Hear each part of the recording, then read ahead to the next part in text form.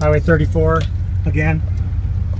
Total devastation. This is a two-lane highway that we're driving on, and it's just completely obliterated.